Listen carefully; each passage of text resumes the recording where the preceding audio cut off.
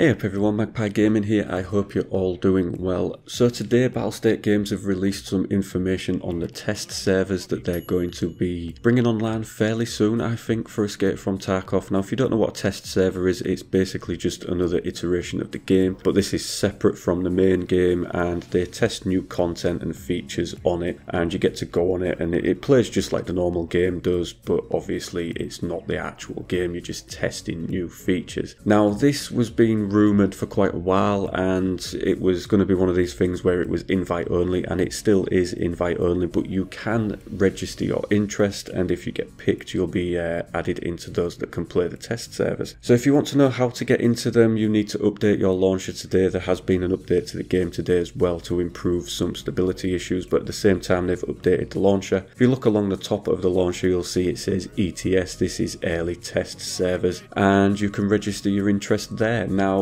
all you need to do is have a copy of the game and that is it. Now it's not to say that you will be picked to play on it even if you do register your interest. I'm assuming that they're only going to allow so many people in to do this but it is open to any region but they do say that the, the server environments will be limited so depending on the region that you're in you might struggle with uh, latency issues and things like that. So I think it's going to be the more popular regions that will probably be able to use this a little bit better. It's going to be available in all languages. There will be wipes on the test server and these will be regular and often. Obviously, it's not going to be uh, the same as the main game where you get maybe one or two wipes a year. This will wipe quite often. I think that's just to make sure that the environment is running at its optimum. And every time they change something within the game, they will most likely wipe it and you will start again. All of your progress that you make in the test environment will not carry over into your into your main character on the main game. It is completely separate from that. It is just to test new features and uh, new content. Now, one of the things that surprises me is that they do say that anything that is done on the test environment, you are basically signing up to an NDA. You can't broadcast it, you can't put it in videos, you can't put it out there what you're actually seeing in these or how it works. Otherwise, your access to the ETS will be revoked if you are found to be doing that. Now, that's one of the ones that I found a little bit odd. I would have assumed that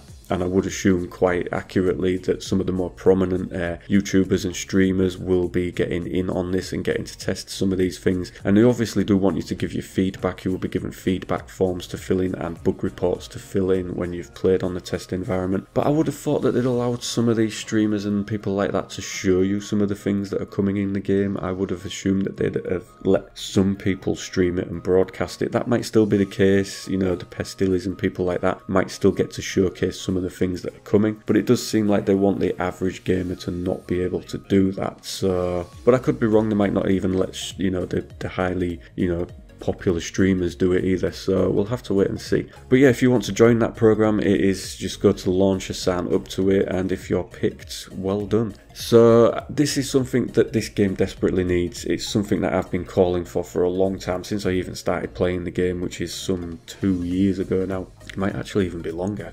but yeah, it definitely needs it. Things do need testing. For those of us that have been around quite a while, you do know that every time there's a big update and they push something new into the game, it inevitably breaks something in the game and they have to fire out a lot of hot fixes and patches to get it sorted out really quickly. This way, if it's been tested and it works and it's running smoothly, it means that we're going to get better and more stable updates to the main game, which can only be a good thing with Escape from Tarkov. It does suffer from the updates sometimes. I mean, bonus points to the team, they do the best that they can and they have a great game on their hands, but sometimes it just doesn't go as they want it to. But hopefully, with the feedback on the test environment and hopefully uh, getting everything to work properly, means that we will get a better end product. And that is pretty much it for this video, ladies and gentlemen. There has been an update, like I said today, I think that was just just to improve some stability issues within the game. There was, I'm sure there was a tweet saying that the little things that they was going to fix, but I can't find that now, so I'm not sure if that's the update that's been put out today. Whether that tweet was deleted, I'm not too sure, or whether I was just simply imagining it. But there has been quite a big update today. The servers were down for two to three hours, I think. So there's been some issues ironed out there, but there aren't any patch notes for this one.